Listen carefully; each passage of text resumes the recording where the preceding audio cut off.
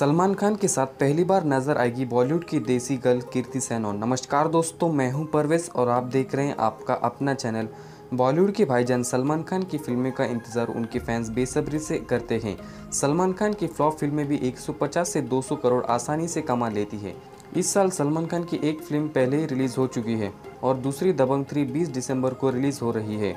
Film का trailer पहले ही लोगों को काफ़ी पसंद आ रहा है, जिसमें अंदाज़ा लगाया जा सकता है कि ये फ़िल्म भी सुपरहिट होने वाली है। दबंग थ्री के रिलीज़ से पहले ही सलमान खान अपनी अगली फ़िल्म राधे की शूटिंग में बिज़ी हो गए हैं।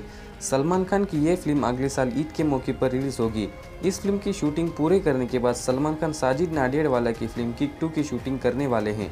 इस फ़िल्म के लिए स्टोरी और रिलीज़ डेट भी फाइनल हो चुकी है। आपको बता दें कि फ़िल्म 2021 ईद पर रिलीज़ होगी। इस फ़िल्म की लीड हीरोइन के लिए पूजा हेगड़े और कीर्ति सोनन का नाम फाइनल किया गया है। इसमें कीर्ति सोनन साजिद की पहली पसंद है।